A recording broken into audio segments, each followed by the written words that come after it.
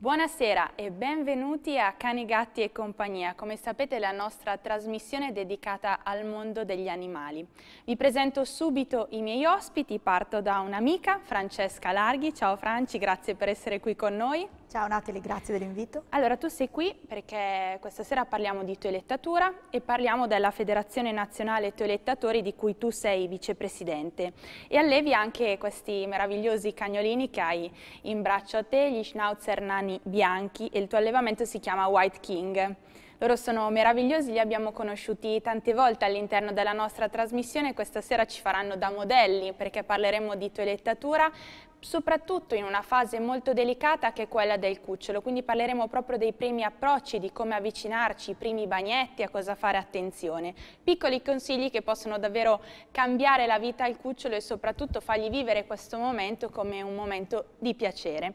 Insieme a lei abbiamo il consigliere regionale della Lombardia, della Federazione Nazionale Toilettatori, Alessio Trovato. Benvenuto Alessio. Grazie. Benvenuto. In braccio a te una bellissima, una femmina giusto, sì. di, di, maltese. Ecco, grazie a lei capiremo proprio come avvicinarci a un pelo così bello, ma allo stesso tempo che può essere complicato, può spaventarci, invece anche qui, grazie a piccoli accorgimenti, capiremo come tenere sempre in ordine il manto del nostro cane a pelo lungo. Non siamo soli perché insieme a noi c'è anche Edgar Mayer. Ciao Edgar, sono felicissima che sei qua con noi. Ciao Natalie, buonasera a tutti, sono felice anch'io. Allora, tu sei presidente di Gaia Animali e Ambiente, hai fatto con noi tantissime rubriche, sei sempre molto attivo per quanto riguarda i diritti degli animali. Proprio in questa trasmissione oggi abbiamo diverse tematiche da affrontare insieme perché sono sempre di più i casi di, eh, da parte dei cittadini che si lamentano, che denunciano situazioni situazioni di maltrattamento o anche situazioni di vita comune come ad esempio può essere il nostro cane che abbaia, dà fastidio al vicino ma il nostro cane ha il diritto di abbaiare sì o no e lo capiremo proprio nel corso della trasmissione Edgar. Tanto ti dico assolutamente sì, poi approfondiamo. allora parto, parto proprio da te, io vorrei riparlare, riscoprire insieme a te questa bellissima associazione Gaia Animali e Ambiente, perché non solo animali ma anche ambiente, quindi vi occupate delle tematiche green. Sì, di Gaia, che è il pianeta Terra, come lo chiamavano gli antichi, e quindi che è il nostro pianeta, quello che ci ospita, e ci ospita tutti quanti, non soltanto noi umani, ma tutti gli altri animali. E noi come Gaia Animali e Ambiente diciamo che bello se... Eh, riusciamo a convivere tutti insieme con rispetto. In casa nostra, eh, quando c'è qualcuno che è disordinato e lascia in disordine, lascia sporco, eh, spesso produce nervosismo e, e anche litigi. Eh, la stessa vale sul pianeta Terra. Eh, se noi eh, lo teniamo bene, con rispetto, ordinato e rispettiamo la nostra casa comune, come l'ha chiamata anche Papa Francesco, siamo tutti più sereni. Se invece la sfruttiamo, lasciamo in disordine, la inquiniamo, ehm, probabilmente si produce nervosismo, eh, cattiverie e siamo tutti un po' più arrabbiati. E allora, e allora ci occupiamo anche di questioni ambientali. Però la maggior parte dei nostri utenti ci chiede di occuparci dei diritti animali perché su quattro mail, tre riguardano i diritti animali e una la tutela dell'ambiente. Noi facciamo entrambe le cose. Ecco Edgar, se, se, penso che proprio nel recovery che abbiamo visto tutti in, in questi giorni, eh, una grossa fetta di, dei futuri investimenti è proprio dedicata alla parte green, all'ambiente, perché questa terra è davvero al limite. Eh, non lo dice l'ambientalista e basta, ma è una questione ormai a livello mondiale. Sono tanti gli aspetti che mettono sotto pressione il nostro pianeta. Sicuramente l'inquinamento da parte delle fabbriche, poi eh, lo sappiamo tutti, le nostre nostre case che, che riscaldiamo e mettono molto calore, quindi questo fa aumentare anche la CO2, le emissioni, eh, stesse, la stessa temperatura della terra che sta aumentando, però eh, c'è anche una larga fetta che sono eh, gli allevamenti intensivi, perché gli allevamenti intensivi hanno un grave impatto sul nostro pianeta. Eppure, eh, nonostante questo periodo ci abbia insegnato che ehm, i sacrifici si possono fare per un qualcosa in cui tutti si crede, eh, in un qualcosa che speriamo di, di, questo Covid di poterlo sconfiggere, sicuramente anche per quanto riguarda l'allevamento intensivo una riduzione del consumo di carne sarebbe una buona pratica per il futuro. Guarda, secondo molti ricercatori eh, la seconda causa di emissione di gas climalteranti è eh, proprio l'allevamento intensivo, cioè l'industria della carne seconda causa di emissione di gas climalteranti, che non sono solo la CO2, ma sono il metano e altri gas climalteranti, che sono ancora peggiori della CO2, eh, per quello che riguarda appunto il cambiamento del clima. Intanto mi viene a trovare, simpaticissima, siamo già diventati amici prima. E quindi sì, una cosa che possiamo fare tutti noi, perché è vero che eh, la Terra è in difficoltà, in difficoltà non tanto la Terra in quanto pianeta Terra, perché il pianeta Terra continuerà a esistere per miliardi di anni, eh, sono gli abitanti del pianeta Terra che eh, comin cominciano e eh, nei prossimi decenni, nei prossimi secoli, se non interveniamo, avranno sempre più difficoltà. Noi e tutti gli altri mammiferi eh, e in genere tutti gli abitanti, che dovremmo abituarci a un cambiamento del clima, quindi a temperature eh, più alte e a sconvolgimenti micidiali. E però tutti noi potremmo fare qualche cosa anche nel nostro piccolo, è quello che hai detto, e che spesso eh, si ripete anche qui in trasmissione da te, ma che bisogna dirlo continuamente, è ridurre il consumo di carne, oppure addirittura azzerarlo, ovviamente, meglio, certo. come, come nel mio caso, come nel tuo caso, che siamo vegani, vegetariani, però senza diventarlo immediatamente se uno è abituato a mangiare la carne, ma ridurlo e scoprire tra l'altro che non è un sacrificio perché l'alimentazione vegetariana o vegana in realtà ti consente comunque un ampio spettro di, eh, di, di, cibo che puoi portare sulla tua tavola, è anche fantastico. Tra l'altro sul sito nostro, gaiitalia.it, ci sono ricette vegetariane e vegane succulente, gustose, buonissime che si possono scaricare gratuitamente. Certo. Facciamo almeno la prova e poi si scopre che è divertentissimo. Ecco, quindi Gaia come si occupa dell'ambiente? Cosa ha fatto in questi anni? Ma guarda, noi facciamo sensibilizzazione e informazione, ovviamente, però poi siamo anche presenti direttamente sul territorio. Eh, ormai Gaia Animale Ambiente che esiste da 26 anni, siamo un'associazione di volontariato, puro volontariato, ma abbiamo tutta una serie di delegazioni sparse per l'Italia. La sede centrale è a Milano, quindi in Lombardia siamo più, più forti, e abbiamo un po' di delegazioni di volontarie e volontari. A seconda delle delegazioni ci sono diverse attività un attimo prima di entrare in, in, trasmissione ero al telefono con la delegazione Gaia di Basiglio, che è un comune in provincia di Milano, e quella delegazione lì si occupa di gatti, colonie feline, eh, ma ne hanno un sacco, eh? Eh, hanno, gestiscono 110 gatti distribuiti in 11 colonie feline.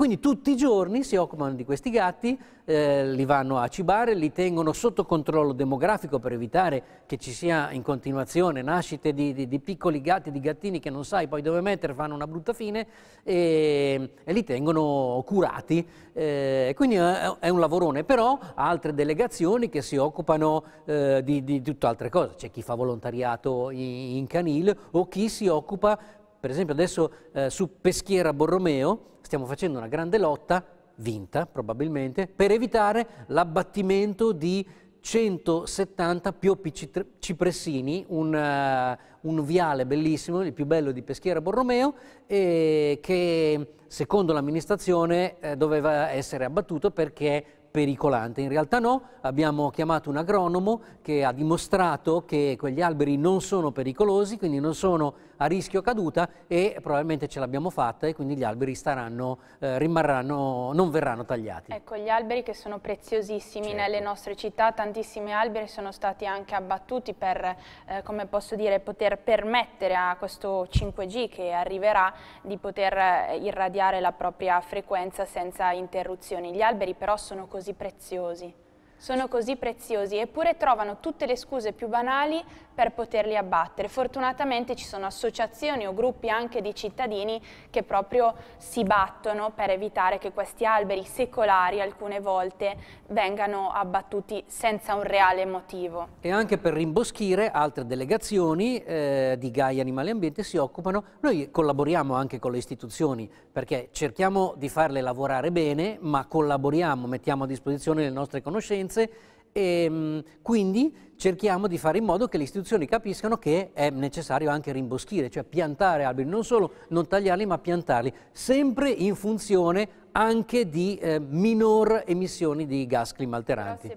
Pensiamo Edgar, un albero che magari ha 50-100 anni rispetto a un alberello che veramente ci mette una vita a crescere e, e, a poter dare, come posso dire, ossigeno, aria pulita, sicuramente prima di andare a tagliare un albero, più alberi come in quel caso lì di quelle dimensioni, si può anche mettere giù anche nuove piante senza, senza dover batterli. tagliare quelle che ci sono. Assolutamente, non Comunque, vanno battuti ma vanno ripiantati. Assolutamente sì, rendiamo più verdi queste, queste nostre città che ne hanno bisogno, per non parlare delle campagne, che qua si aprirebbe un altro capitolo perché se si guarda anche nelle nostre campagne ormai è difficilissimo trovare un albero, soprattutto in Lombardia, qualcosina di più c'è in Emilia Romagna ma aiuto. È il tema allora, dell'agricoltura intensiva, però molto, poi apriamo un'altra. Purtroppo molto difficile. Non voglio dilungarmi anche se è una tematica a me particolarmente, come posso dire, ci tengo veramente tanto. Allora Edgar, voi avete un, come posso dire, uno sportello importantissimo che è la parte degli avvocati di Gaia.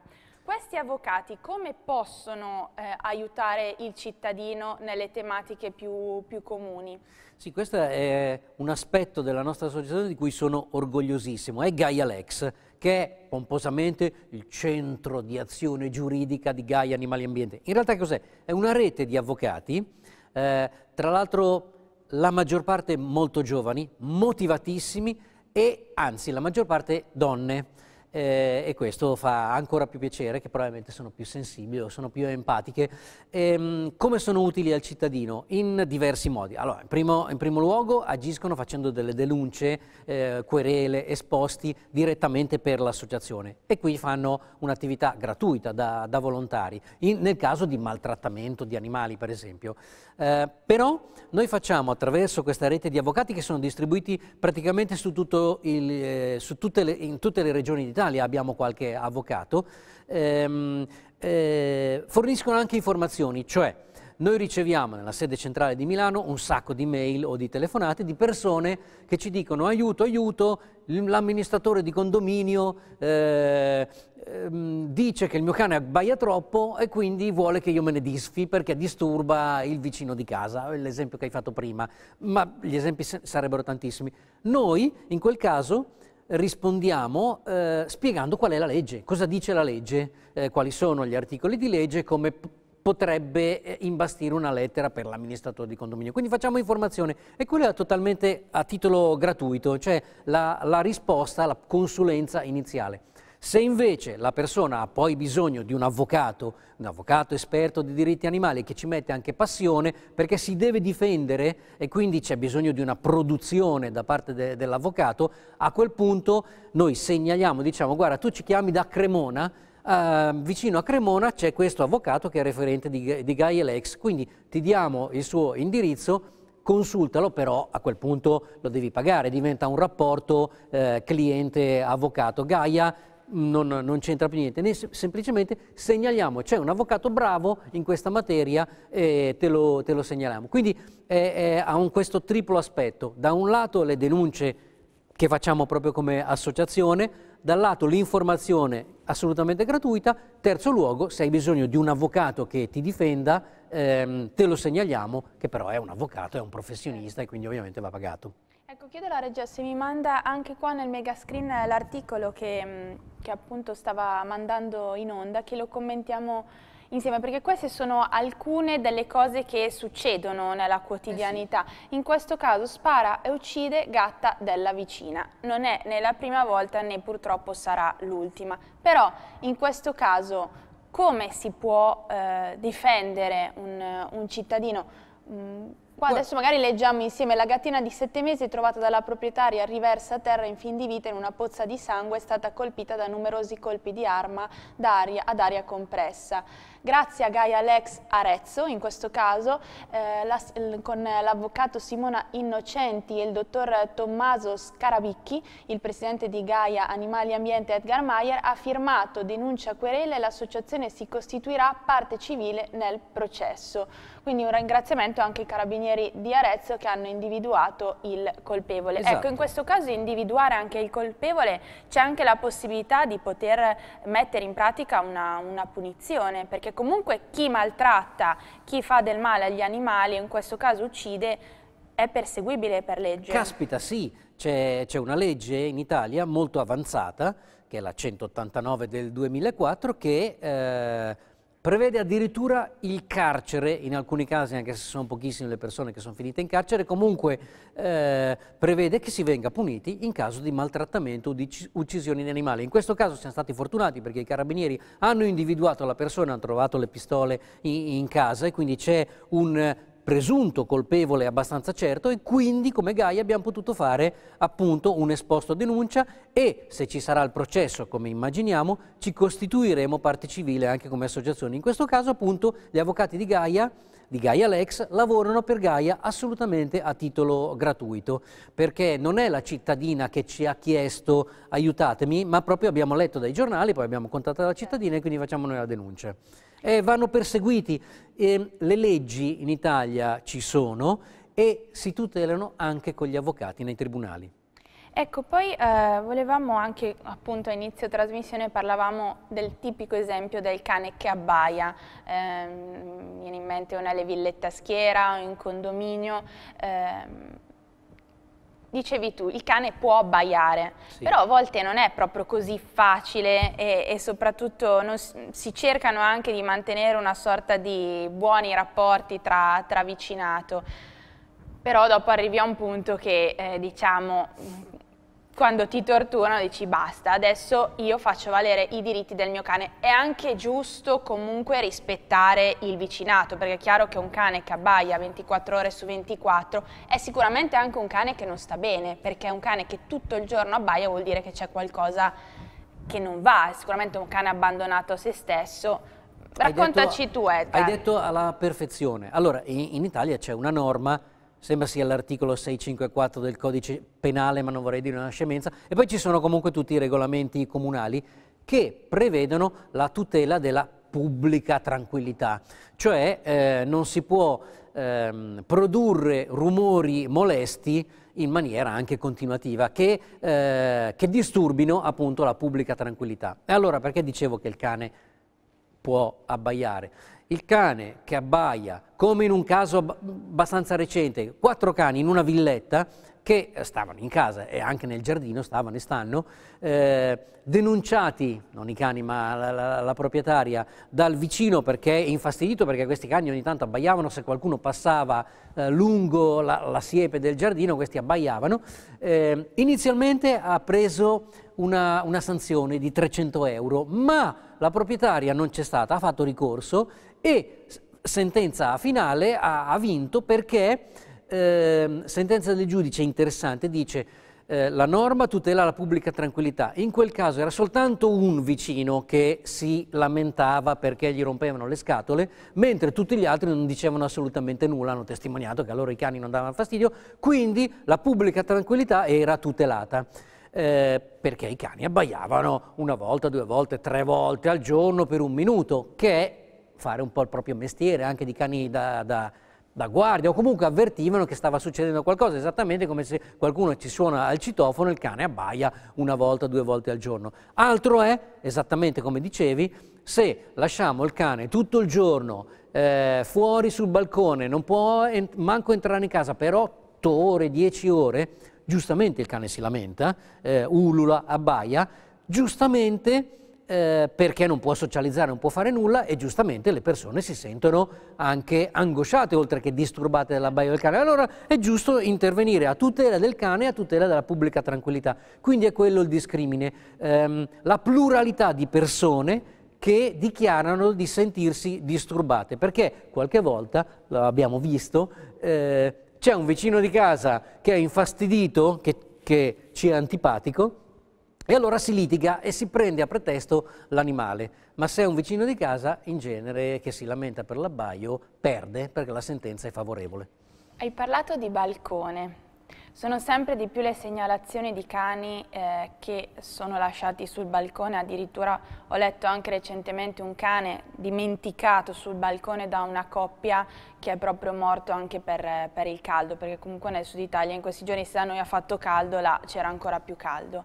Ecco, come va gestita correttamente la questione cane e balcone? Cioè, mm, anche in questo caso penso che la legge Parli chiaro o no? No, allora non c'è una legge precisa chiaro, che dica chiaro. non si può tenere il cane sul balcone. Ci sono dei regolamenti comunali, ecco. eh, però allora ci sono dei comuni che hanno inserito una norma simile all'interno del proprio regolamento comunale, tipo il regolamento tutela animali. Non ce l'hanno tutti i comuni d'Italia e non esiste una norma nazionale che vieti di tenere i cani sul balcone. Lo fanno alcuni comuni, ma appunto si interviene nel, nel senso che se il cane dà segni è esposto alle intemperie, eh, quindi costantemente al sole, piuttosto che costantemente alla pioggia, non viene mai portato in passeggiata, ehm, ci potrebbe essere la possibilità che risulti in stato di maltrattamento. E allora è possibile, allora, non dobbiamo farlo, quindi come ci si comporta, primo, primo, non si tiene il cane sul balcone sempre, ovviamente. Se però è un vicino di casa o è una persona che sappiamo, si può fare una segnalazione, in, inizialmente si fa una segnalazione alla polizia municipale oppure alle guardie zoofile, che sono le autorità preposte a verificare se il cane è in situazione di maltrattamento eh, se il cane è in situazione di palese maltrattamento poi ci pensa appunto la polizia municipale o i carabinieri o le, le guardie zoofile. Quindi quello da fare è fare una segnalazione alle autorità preposte a fare in modo che questo non, non accada. Ecco, vorrei commentare insieme a tutti voi un video che sta facendo il giro del web appunto di questo cane lupo cecoslovacco, eh, il video appunto dell'istruttore cinofilo che tira un calcio a un cane e le immagini ovviamente hanno impressionato tantissime persone, non sono passate inosservate. È successo in Toscana a Massa Marittima, eh, pare quattro anni fa, pare che questo video stia circolando adesso ma che non sia ecco, recente. Eh, il protagonista è dicono, io non ne ho la certezza, riporto quanto detto da un articolo, Claudio Mangini, che è un istruttore cinofilo internazionale e come specifica nella sua pagina Facebook, Animal Trainer per il cinema. Allora, queste sono le immagini. Io lascerei la parola a te Edgar e poi vorrei sentire anche, non so, Francesca o Alessio se vogliono commentare queste immagini. Sì, noi siamo stati subissati anche noi ovviamente di, di mail, eh, ci è stato girato il, questo video chiedendo di, di, fare qualcosa, di intervenire e quindi eh, immediatamente si sono attivati alcuni dei nostri avvocati, tre per la precisione, eh, che ci stanno lavorando. Eh, in realtà quello che fa eh, un avvocato di Gaia Lex è appunto in questo caso fare un esposto alla Procura della Repubblica eh, per lasciare la parola poi eventualmente ai giudici che giudicheranno se questo è un maltrattamento di animale oppure no. Eh, complica il fatto è che effettivamente questo è un video di quattro anni fa. Eh, l'hanno appunto verificato anche i nostri legali e quindi questo complica un po' le cose per poter fare un esposto, una denuncia. Di sicuro l'opinione, allora sicuramente la situazione lì non è facile, sicuramente questo che è un cane lupo cecoslovacco eh, è un cane che ha degli atteggiamenti aggressivi, eh, tuttavia la nostra opinione è che un educatore cinofilo non possa e non debba intervenire in questa maniera.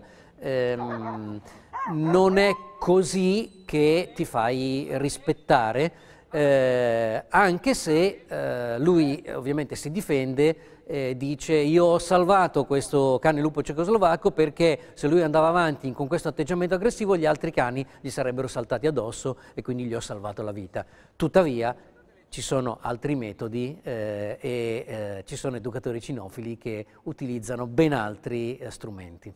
Francesca, tu vuoi commentare? Vi siete fatti anche voi un'opinione su quelle immagini che abbiamo appena visto? Non si parla d'altro da alcuni giorni, anch'io quattro anni fa non avevo visto queste immagini, ehm, ne discutevo questa mattina con uh, dei cinofili. Io, il mio commento primario è che c'è un errore di base.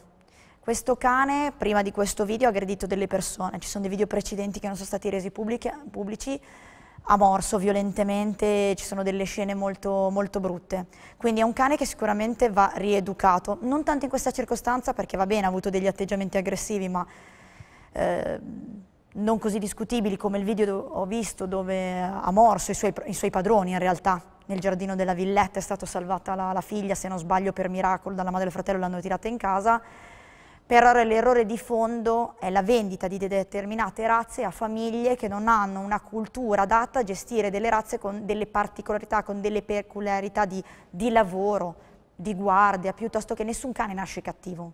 Cioè io da allevatore dico è una cosa che non è così, però ci sono razze che vanno sapute gestire.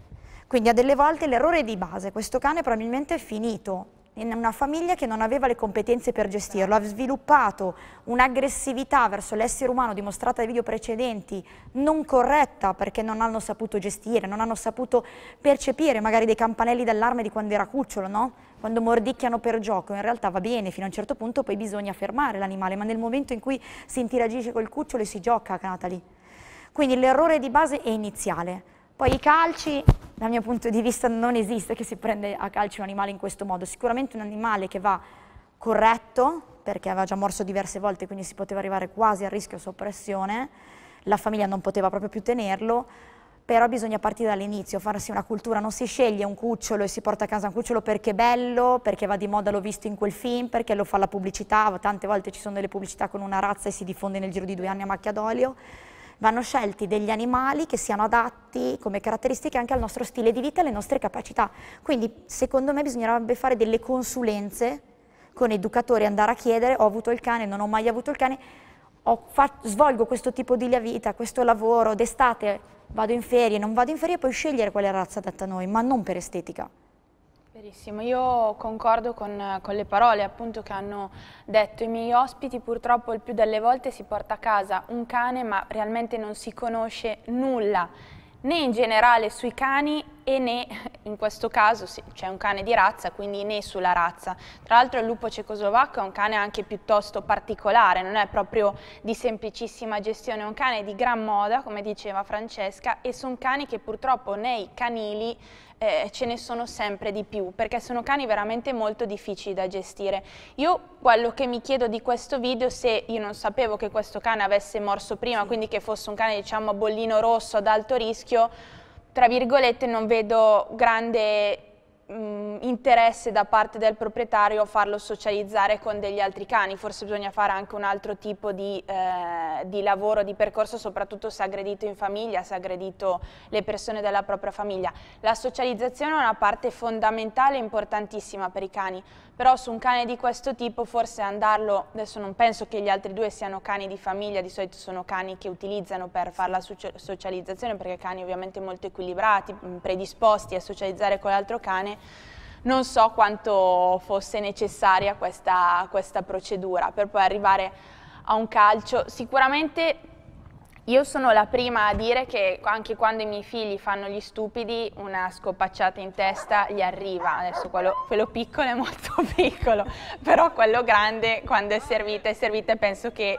tanti di noi che stiamo ascoltando dai nostri genitori qualche sberletta ce la siamo presa per non dire anche sberloni. Però questo diciamo ci aiuta a crescere, ma un conto è una sberletta data in un determinato posto, in un determinato punto. Io in questo video vedo particolare violenza, soprattutto anche in un punto molto delicato che è lo stomaco, l'addome e il cane, quindi non, non mi sembra, ecco, come dicevano i miei ospiti, una riabilitazione di questo soggetto a quanto pare pericoloso a bollino rosso appropriata. Detto ciò, eh, adesso ci lasciamo per una pausa pubblicitaria, al rientro saremo sul palco perché inizieremo a vedere come avvicinarci al cucciolo, alla toilettatura, come gestire il primo bagnetto.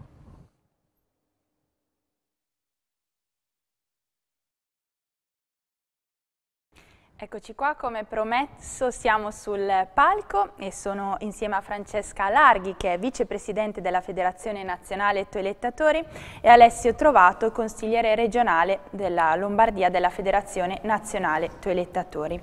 Allora Franci, prima di eh, vedere la toilettatura nel cucciolo, ehm, ricordiamo che il 5 maggio c'è una data molto importante perché alle ore 21 con l'onorevole Sara Moretto ci sarà una diretta dove si discuterà questa proposta di legge per il riconoscimento dei toilettatori. Voi vi state battendo per il riconoscimento della categoria?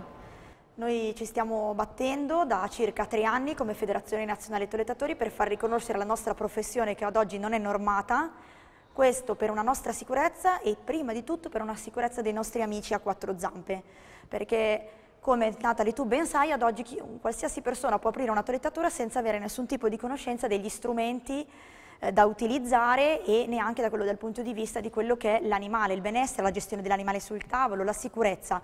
Ci stiamo battendo per avere una norma che ci regolamenti e incrociamo le dita perché adesso diversi politici ci stanno seguendo e ringrazio l'onorevole Sara Moletti e il nostro presidente Chiara Piccionetti. Ecco, noi adesso parliamo un po' del, dell'approccio, di come avvicinarci alla toilettatura in casa, del cucciolo, a cosa fare attenzione, però già abbiamo dedicato una puntata a questo argomento, ma è giusto ricordare, visto che appunto stiamo parlando del riconoscimento della categoria, quanto è importante essere attenti quando portiamo il nostro cane a toilettare a non guardare purtroppo quello che fa la maggior parte della gente, soltanto il prezzo più basso, il prezzo più concorrenziale. Ricordiamoci che quando noi portiamo il nostro cane a toilettare non è solo un momento diciamo, eh, dove il nostro cane si farà bello, tornerà a casa pulito, è un momento anche particolarmente emozionante per il nostro cane, emozioni che ovviamente non sono idilliache come le nostre, il nostro cane se non è in mani corrette può vivere questo momento come un grandissimo stress. Esattamente, il cucciolo che entra per la prima volta in toilettatura deve avere prima di tutto terminato il piano vaccinale perché entrerà in un ambiente dove ci sono altri cani che girano, che possono comunque, anche se vaccinati, poter trasmettere ehm, delle malattie, quindi finito il piano vaccinale.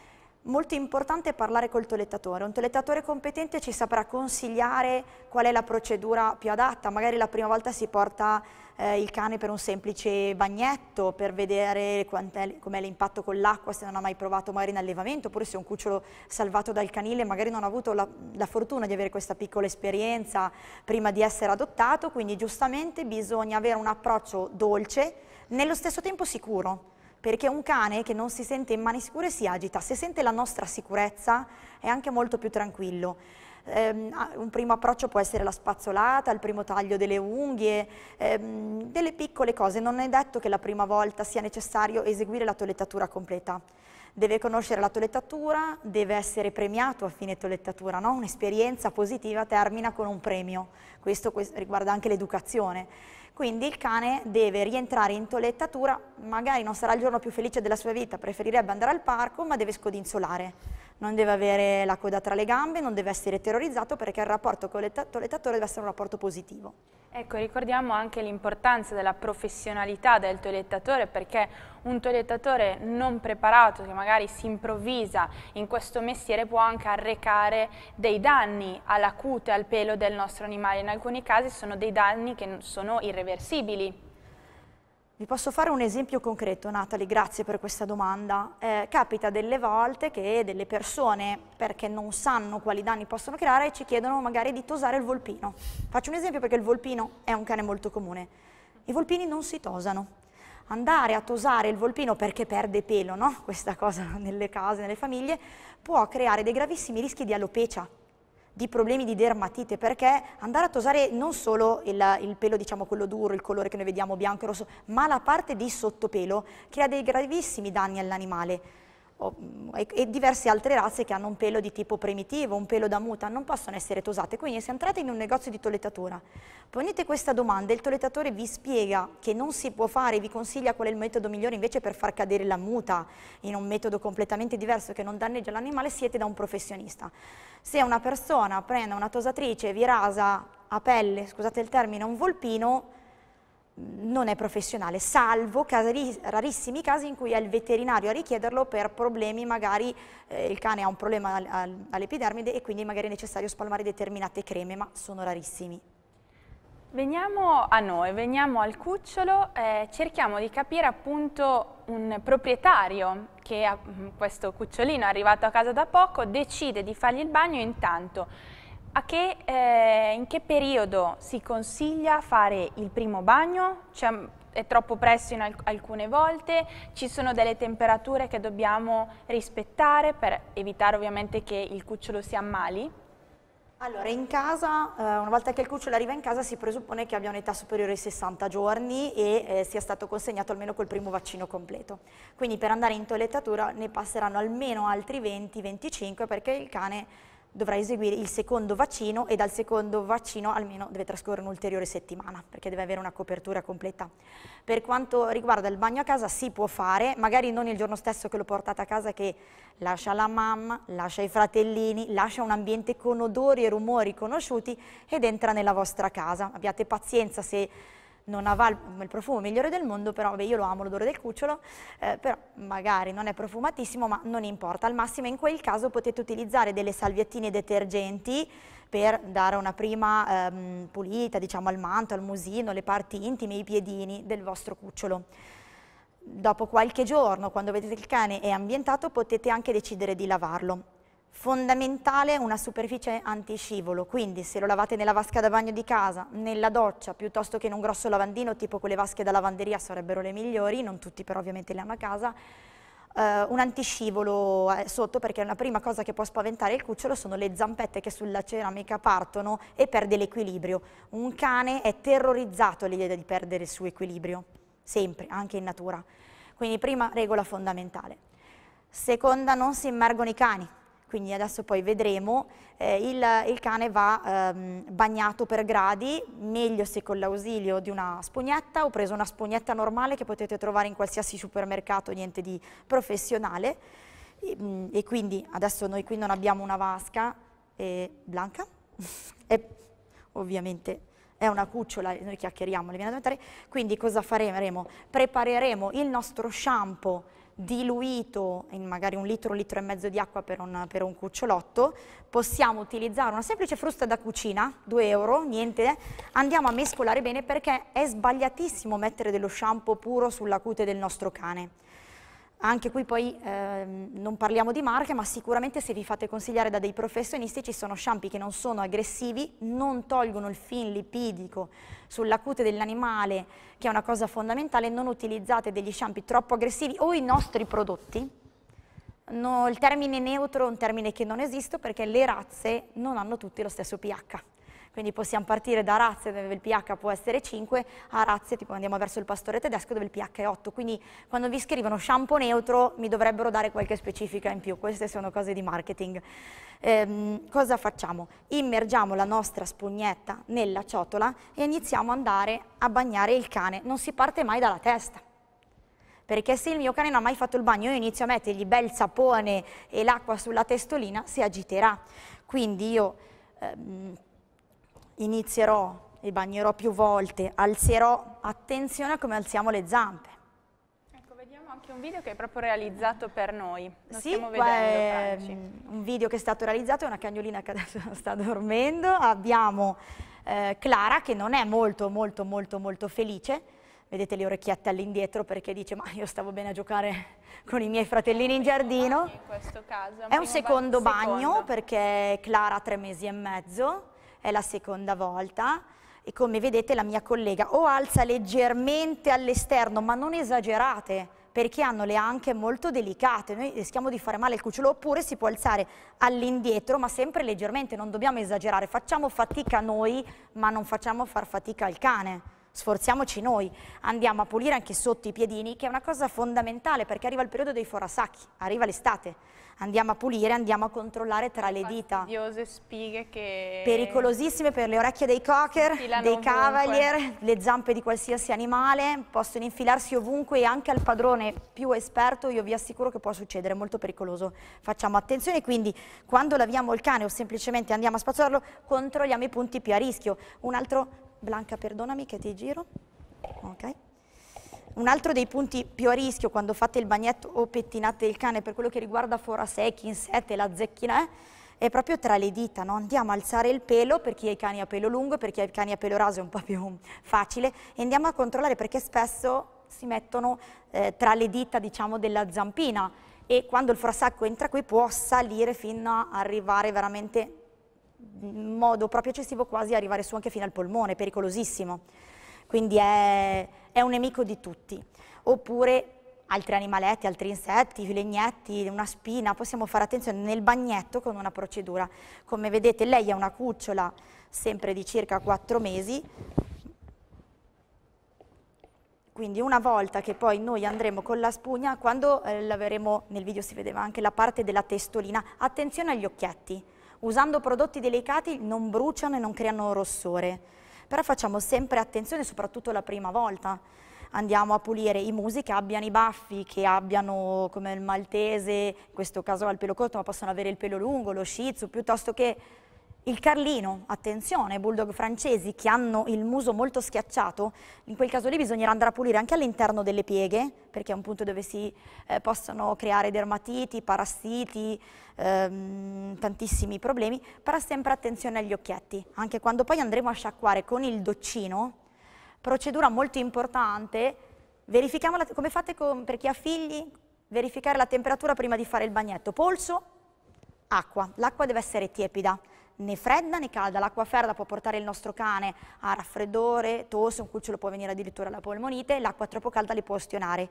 Attenzione ai cani di colore bianco che sulla temperatura sono molto delicati, quindi leggermente meno tiepida, mai l'acqua troppo calda. Le orecchie, altro punto, no? che a volte mi chiedono, ma se va l'acqua nelle orecchie gli viene l'otite? Può essere, quindi se bagniamo le orecchie, attenzione a asciugarle sempre molto bene, ovviamente che qui col foam il cucciolo mm, non avrà molta voglia, quindi andiamo a asciugare non con il cotone che può perdere dei filetti, possono entrare con della garza sterile, anche con banale, banale Scottex se non l'abbiamo, ma niente che lasci residui.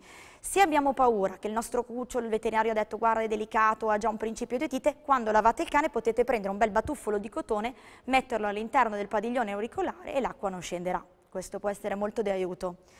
Ehm, lo, il cane deve essere sciacquato molto bene, non devono essere residui. Ci sono cani per i quali dopo lo shampoo è necessario applicare una maschera per evitare la formazione dei nodi. Io ai cuccioli lo faccio già, anche se il cucciolo che abbia nodi, insomma, un po' difficile che il pelo è un po' corto, ma per abituarlo a una doppia procedura. I cani sono metodici. Quando noi gli insegniamo una cosa deve essere sempre quella. Come per i cani non esiste il ni, o è sì o è no, quindi anche questo fa parte del, dell'educazione di base. Quindi in alcune razze verrà nello stesso modo diluendo il balsamo applicato su tutto il corpo, per alcune razze come la mia, come gli schnauzer, la crema verrà applicata solo sulle difese, quindi sulle zampe, su quello che è la gonnella e la barbetta, perché la parte del corpo, avendo un pelo duro, un pelo keratinico, non deve essere ammorbidita.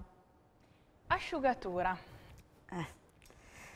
Che è importante, non è da sottovalutare perché un cane che apparentemente ci possa sembrare asciutto e magari sotto rimane umido può portare anche a, sì. a allora, raffreddamenti, a influenze. Allora è molto molto importante asciugare un cane anche a luglio-agosto.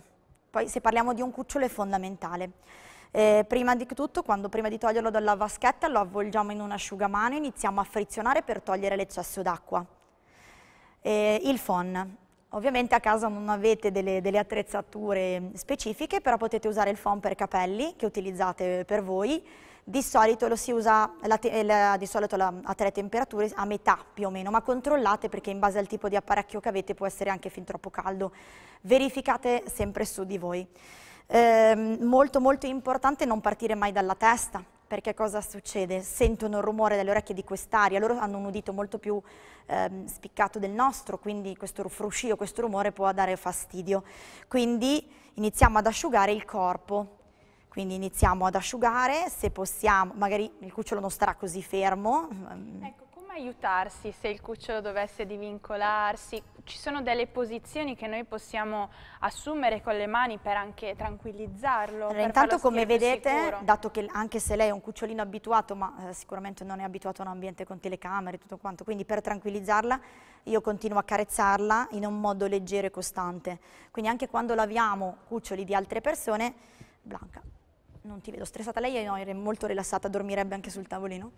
Eh, molto importante è tenere il nostro... Intanto non asciughiamo il cane a terra, perché il cane a terra inizia a divincolarsi, che può scappare e rischiamo di più una lussazione della spalla piuttosto che che si faccia male.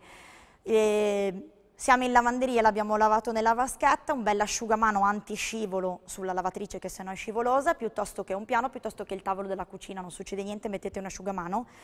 Se avete paura vi fate aiutare da qualcuno, però tenendolo da sotto.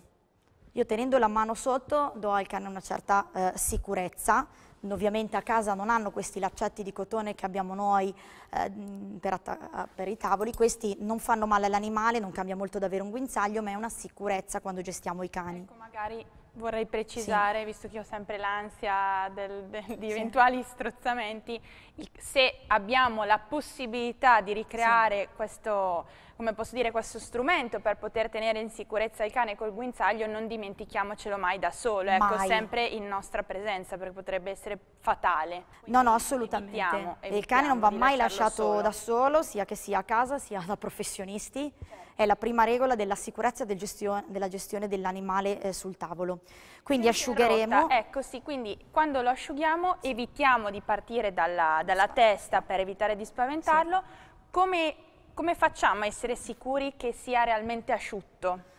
Allora, dipende dalle razze, perché le razze col sottopelo spesso sembrano asciutte e poi invece riesce l'umidità dopo 5 minuti. Quindi quello che posso dire è asciugate tu, il, completamente il vostro cane eh, vi faccio vedere con un phon di casa anche se non lo accendiamo, solo anche come tenerlo, ehm, ma fondamentale dopo 5 minuti magari gli controllate le unghiette o se non ve la sentite lo accarezzate e poi ripassate la mano in contropelo perché spesso e riesce un'umidità, soprattutto i cani che mh, ah, presentano due tipi di pelo, quindi col sottopelo. A volte uno mi dice ma come faccio a tenere il cane, il phon e la spazzola?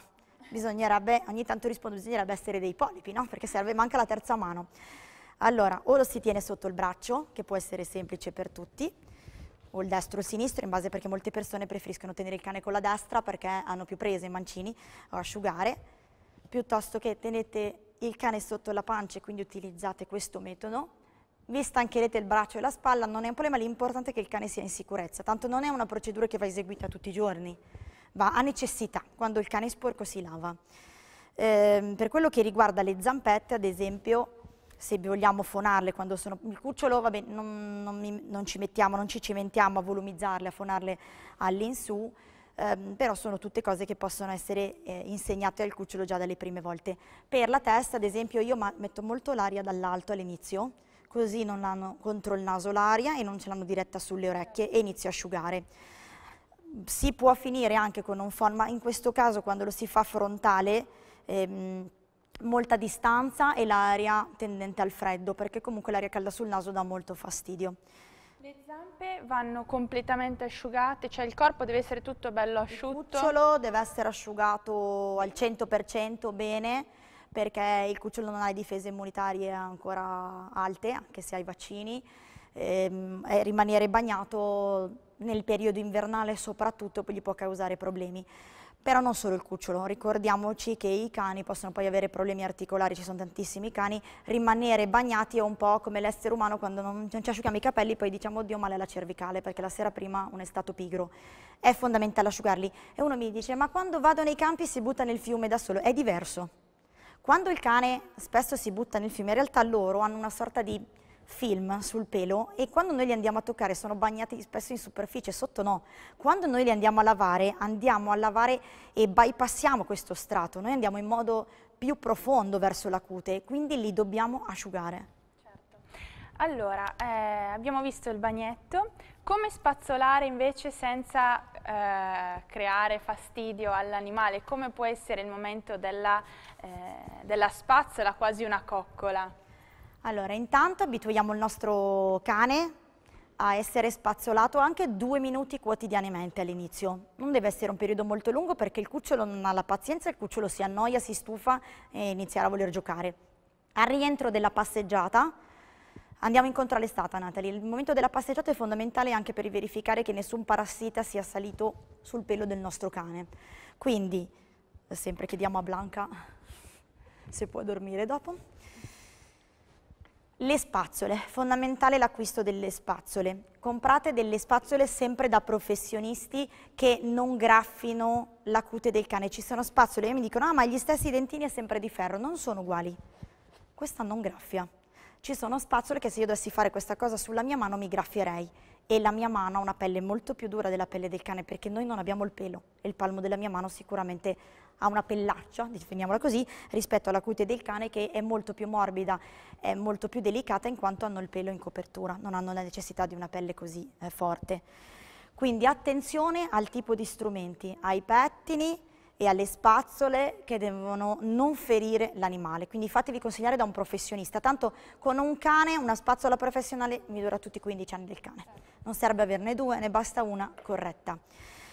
Quando andiamo a spazzolare il nostro cucciolo, non partiamo sempre mai da... Manca molto sonno. Sì, sì, no, è strano perché in realtà è una monellissima. Vede che l'ambiente, le luci l'hanno... È rilassata andiamo a spazzolare, non facciamo questo movimento, perché questo movimento porterà a graffiare il cane, è un movimento di polso molto delicato e andiamo a spazzolare il cane. A molti non viene questo movimento naturale, ovvio che non lo sia perché tutti sono abituati, iniziano a spazzolare così, assolutamente non vado a graffiare la cute del cane.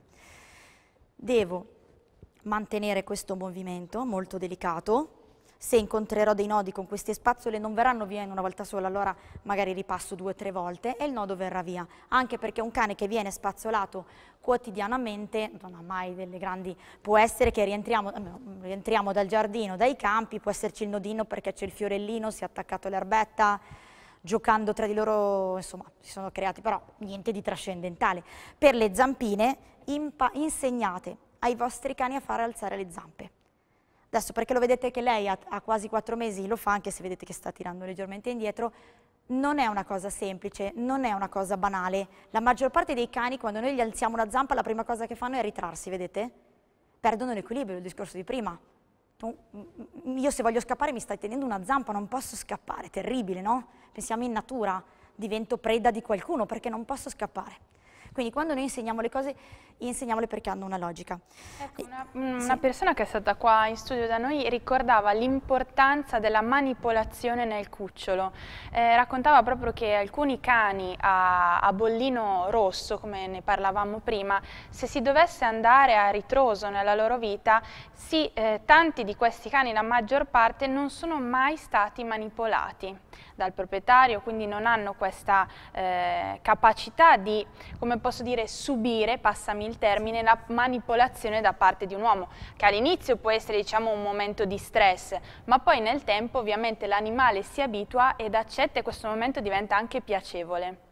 È molto importante, da qui parte il lavoro, se siamo fortunati che sono cani di razza dell'allevatore, se sono eh, cane di canile un pochino più complicata la situazione, però i cuccioli andrebbero manipolati già dall'allevatore dal primo giorno di nascita e non è un lavoro, eh, vanno toccati, vanno... A... seri mi permetto di aggiungere, sì. dovrebbero essere tutti così ma purtroppo... Vanno accarezzati, vanno toccate le zampette, vanno stimolati, questa cosa è fondamentale perché loro imparano ehm, proprio la manipolazione da parte dell'essere umano e bisogna proseguire con esercizi sempre un filo più impegnativi intanto che il cucciolo cresce.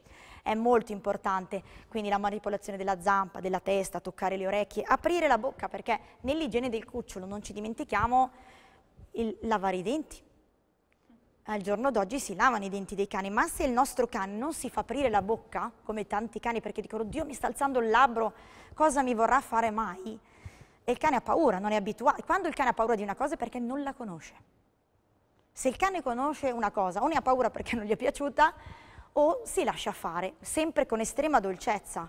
Quindi al cucciolo si insegnerà fin da piccolo, quando i dentini non ci sono ancora, ad aprire la boccuccia, ad aprire, grazie Blanca, vedete che è bravissima, si fa. Lei chiaro sarà si spera un cane da esposizione, quindi queste cose dovrà farle fare anche dai giudici, ma non importa perché quando vado a lavare i dentini dei miei cani con il dentifricio, devo, io non uso lo si può usare lo spazzolino, si può usare il dito con intorno una garza sterile, io uso il dito con la garza sterile perché mi, mi sembra di fare più aderenza, è una mia scelta, e eh, poi perché poi la butto via, non mi piace rimanere con spazzolini sporchi vado, vado a mettere il prodotto. Adesso lei ovviamente ha ancora i denti da latte, tra un paio di settimane inizieremo a cambiare i dentini, non è fondamentale, ma lo stesso lo stiamo facendo una volta alla settimana solo per abitudine. E anche a casa fatelo. Perché quando il veterinario, il cane avrà male al dente e non si vorrà far alzare il labbro, se un cane si fa manipolare non serve addormentarlo. Certo Giustissimo. Ti ringrazio intanto per questa prima parte dedicata alla toilettatura nel cucciolo, alle prime attenzioni da parte del proprietario.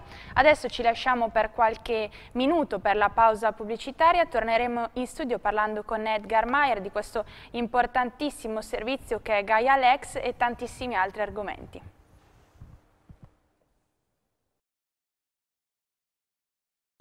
Bentornati qui con noi in studio.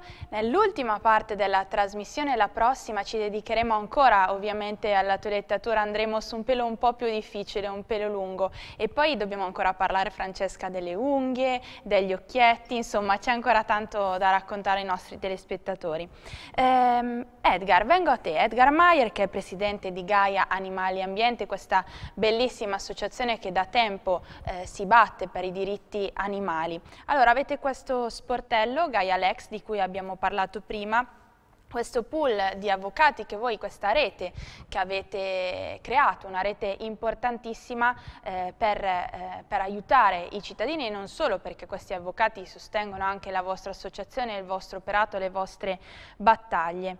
Ehm, questi avvocati che, eh, come posso dire, si muovono tra tante tematiche che sono all'ordine del giorno. Abbiamo visto un po' il discorso del cane cabbaia, abbiamo visto il video che sta facendo adesso il giro del web di questo cane che è stato picchiato da un addestratore durante una seduta, un cane a quanto pare a bollino rosso. Adesso però veniamo alle colonie feline, perché le colonie feline sono davvero molto tutelate, eppure ancora poco si sa di quanto siano veramente tutelate dalla legisla legislazione queste colonie feline di, di gatti ovviamente randagi. Parliamo un po' eh, di queste colonie che ce ne sono sempre di più ci sono sempre più volontari che si occupano, anche cittadini che si occupano di far riconoscere queste colonie perché è molto importante anche farle riconoscere per dare un'identità certo. e una protezione alla colonia, Edgar. Sì, hai, hai, detto bene. Allora, intanto i gatti liberi, quelli che un tempo si chiamavano gatti randaggi, oggi si usa più il termine gatti liberi, però alla fine sono, quelli sono, sono tutelati, sono tutelati dalle leggi dello Stato italiano, e sono tutelati dalle maggiori leggi regionali, in più anche da molti regolamenti comunali, quindi sono tutelatissimi, cioè non eh, si possono eh, ovviamente uccidere, non si possono maltrattare, eh, ma non si possono neanche spostare teoricamente le colonie feline, se non per il loro benessere cioè tipo se c'è un cantiere, se si deve costruire una casa o si deve ristrutturare una cascina o un edificio e insiste una colonia felina lì in zona, eh, molti regolamenti comunali prevedono che eh, la ditta che deve fare i lavori insieme al comune e insieme ai tutor di colonia felina, io li chiamo tutor di colonia felina, però ho, sono stato il responsabile della delega al benessere animale di Roma Capitale, e nel nuovo regolamento che io stavo scrivendo e che dovrebbe essere approvato a, a breve, ehm, scrivevo tutor di colonia felina. Le gattare, i gattari mi hanno detto no, a Roma c'è devi da chiamare gattari, noi vogliamo che sia scritto anche nel regolamento. Però vabbè, chiamiamoli tutor di colonia felina. Ehm, allora, eh, se vanno spostate le colonie feline perché appunto c'è un intervento, deve essere concordato tra l'azienda, il comune e il tutor di colonia felina Insomma, per lo spostamento. Non è che uno si può svegliare una mattina e dire gatti mi danno fastidio, spostai. Assolutamente no. Assolutamente cioè, c'è tutta una no. procedura e bisogna anche valutare se è davvero così fondamentale spostare questa colonia, perché ricordiamolo che spostare una colonia non è proprio così facile. Eh no, appunto, è abbastanza complesso e comunque deve essere fatto d'accordo tra la ditta, tempi, esatto, certo. i, tutor e, e il comune, eh, perché se no li, li devi lasciare lì, a meno che, altro caso, non ci siano gravi inconvenienti igienico-sanitari, che però stabilisce la, la ASL, non è che arriva l'amministratore di condominio o un condomino e dice oh, qui ci sono gravi eh, inconvenienti igienico-sanitari. Ecco, tu hai vissuto a Roma, hai vissuto l'area di Roma, ce ne sono tantissimi ah, di, di, gatti, ci sono tantissime colonie,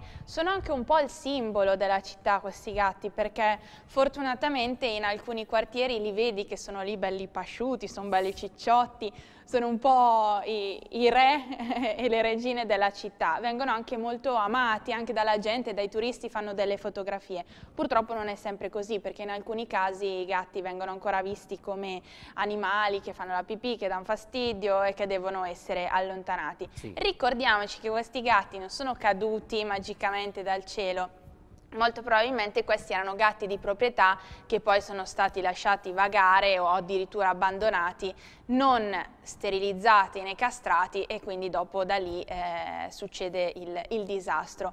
Eh, Edgar, tu hai parlato proprio prima di controllo della, come posso dire, dei, delle nascite no? nelle, certo. nelle colonie feline.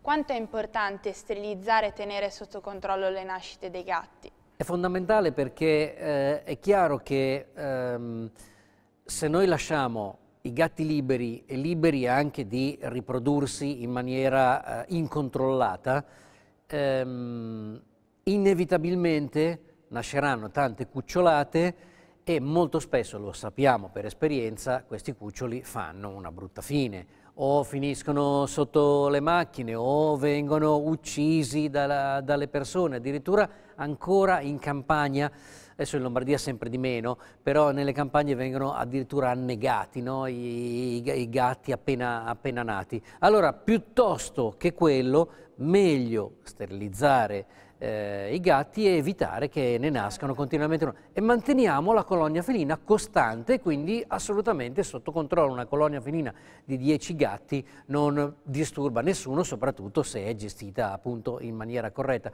Hai detto bene, a Roma sono patrimonio bioculturale della città i, i gatti. Ci sono delle colonie feline assolutamente straordinarie, conosciute in tutto il mondo, da Romeo, Ermeio Gatto del Colosseo, ma poi ci sono delle colonie feline che proprio eh, quelle degli, de, dei fori imperiali locali che sono conosciute in tutto il mondo, ma anche a Milano i gatti del Castello Sforzesco sono fotografatissimi dai turisti, soprattutto quelli nord europei. Eh, uno dice andiamo al Castello Sforzesco, io ho visto stesso dei miei parenti che poi alla fine fotografavano i, i gatti, ma perché sono, sono un'attrazione anche loro. Però vanno, sono tutelati e vanno eh, costantemente tutelati, quindi va ricordato. Come Gaia Animali e Ambiente noi abbiamo proprio un, eh, un, un cartello che eh, ovviamente inviamo gratuitamente a chiunque ce ne faccia richiesta, dove sono ricordate le leggi eh, che tutelano appunto i gatti liberi, i gatti di colonia felina. Importante però che siano sterilizzati. Certo.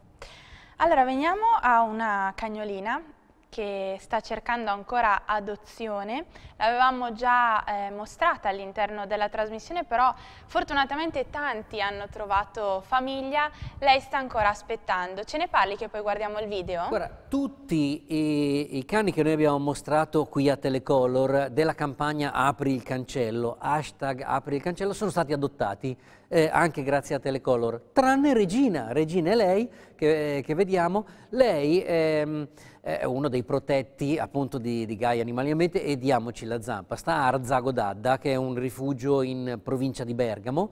E, ehm, è l'unica che non ha ancora trovato casa, arriva dal sud, la maggior parte dei cani ormai che gestiamo come Gaia Animale Ambiente e diamoci la zampa arriva dal sud, perché fortunatamente diciamo che in Lombardia il problema del, del randagismo l'abbiamo fondamentalmente risolto, anche gli abbandoni sono drasticamente diminuiti rispetto a quando ho iniziato a fare volontariato io ormai, ahimè, 30 anni fa.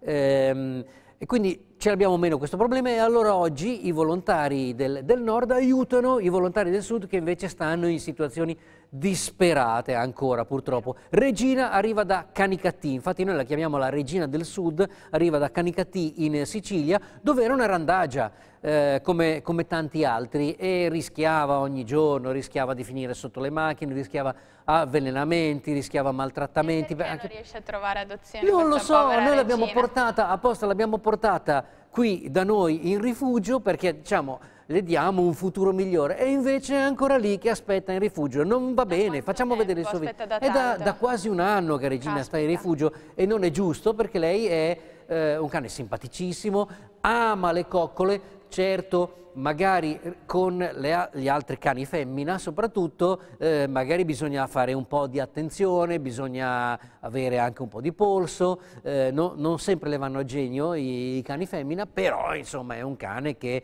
con un minimo... Noi, le persone che vogliono venire da noi in rifugio per adottare per esempio Regina, gli facciamo fare un percorso ovviamente, non è che la impacchettiamo e la, e la diamo in adozione, ecco tenetela, si fa fare un percorso perché si vuole conoscere la famiglia e, e quindi si fa fare anche il percorso di conoscenza di eh, tutti quegli aspetti che... Eh, del suo carattere che possono emergere. Uno di questi l'abbiamo visto, appunto, il rapporto con i cani femmina che non sempre, non con tutti, ma non, è, non, sono idilliaci, e, e però dai, guardiamoci La il video. La conosciamo? Sì. Quando esco dal box sono una ragazza felice. Sono una curiosona. Ho quattro anni e mi chiamo Regina, la regina del sud. Da due anni mi trovo qui, ma sono nata a Canicattì. Ero troppo buona e fiduciosa per la vita di strada. Così più volte mi sono trovata in serio pericolo di vita. Amo la libertà. Sono socievole e intraprendente. Ho tanti amici. E vado letteralmente pazza per le coccole. Mi piacciono molto i bambini. Insomma, adoro il contatto umano. Ma spesso mi chiedo, meglio una gabbia o la strada? Tutte le sere il box si chiude e io esprimo un desiderio, ma non te lo posso raccontare, altrimenti poi non si avvera. Forza Regina, speriamo che trovi davvero una famiglia il prima possibile Edgar. Allora, per contattarci, chiunque fosse interessato a Regina, basta andare sul sito gaiaitalia.it, lì c'è le modalità per, per scriverci, eh, ci scrivete una mail e vi facciamo venire in, in rifugio e poi appunto facciamo tutta l'operazione di, di, conoscenza eh, con, con, Regina. Bene. Noi veramente non ci, non, non, non ci, capacitiamo e quindi vogliamo trovare casa Dai, anche a Regina. deve trovare. Allora, eh, per concludere il discorso adozioni, o, mh, mm, chi non avesse la possibilità o il tempo di portarsi a casa un animale, che io rispetto tantissimo, chi eh, ama gli animali però dice purtroppo non ho le condizioni, sono solo, sono spesso fuori per lavoro e decide di non portarsi a ca casa un animale per puro egoismo perché questo animale sicuramente solo tutto il giorno soffrirebbe. C'è la possibilità però di aiutare questi, queste associazioni, questi cani adottando a distanza. Cosa significa? Ma l'adozione a distanza appunto è un aiuto, è un aiuto per noi come Gaia Animali Ambiente o qualunque altra associazione perché è un, è un, aiuto economico, cioè si tratta di un versamento mensile eh, che, eh, che, poi insomma noi non è che mandiamo la polizia se uno non lo fa mensilmente, si dimentica un mese o due. Comunque insomma è un, un piccolo versamento, sono 16 euro al mese, eh, col quale si appunto adotta a distanza un, un, cane che si sceglie, qui vediamo Danco, può essere Regina, qualunque eh, altro dei, dei, nostri ospiti di Gaia o di Diamoci la Zampa e così in cambio di questo aiuto eh, si riceve l'attestato di adozione a distanza con la foto del protetto che si è scelto. Ehm, è molto carino, eh, noi lo spediamo a casa ehm, ci sono delle persone che se lo attaccano in cameretta bello, eh, bello. piuttosto che in bagno, insomma così hanno sempre la, la foto de, del loro protetto con l'attestato di adozione a distanza e poi noi ovviamente periodicamente informiamo l'adottante a distanza sulle su... condizioni, se è stato adottato, eccetera. Esatto, eccetera. sui progressi, insomma che cosa ha fatto questa settimana, questo mese, soprattutto se è stato adottato ovviamente chiediamo o di chiudere l'adozione a distanza oppure di adottare a distanza certo. un altro cane, insomma uno è liberissimo di fare quello che vuole. Edgar, veniamo a un altro argomento molto molto importante. Caccia e bracconaggio. Mm. Purtroppo nel nostro paese ovviamente è ancora possibile cacciare gli animali, eh, ci sono animali che però vengono cacciati in una maniera spietata e qua veniamo a un'altra parte che è il bracconaggio, specie protette che vengono cacciate o metodi di, di cattura di questi animali che sono a dir poco tremendi, non che eh, lo sparo con un fucile sia tanto più eh, piacevole per l'animale. Come vi state muovendo voi di, di Gaia Animali Ambiente? Allora, posto che ovviamente noi come associazione siamo per l'abolizione de della caccia, ma in Italia eh, la caccia è consentita da una normativa che è la legge 157 del, del 92 e quindi è regolamentata. Um, il tema è, soprattutto in questi ultimi giorni, che la Lombardia è eh, eh, balzata alle cronache nazionali e anche internazionali eh, per appunto il bracconaggio, che è invece quella caccia che è esercitata fuori dalle, dalle leggi, cioè eh, in maniera illegale. Eh, il Guardian, eh, uno dei più importanti quotidiani internazionali, ha eh, pubblicato recentemente in prima pagina una inchiesta dove si dice che la Lombardia è il territorio in Europa eh, dove c'è maggior bracconaggio di tutta Europa. Eh, Guardian dice in Lombardia eh, si uccidono ogni anno illegalmente 5,6 milioni di uccelli cioè quasi 6 milioni di uccelli che in un solo anno vengono uccisi illegalmente in Lombardia. Pazzesco, eh, dice sempre Guardian, ehm, nel bacino del Mediterraneo siamo secondi soltanto all'Egitto, uccidiamo illegalmente più uccelli del Libano, tanto per fare degli esempi. Allora siamo finiti non soltanto sul Guardian ma anche sul New York Times, ehm, per questo bel primato, noi lombardi, io da lombardo mi sento eh, offeso da, da, questo fatto, finire, essere conosciuto a livello internazionale per essere dei, quasi degli uomini di Neanderthal, no?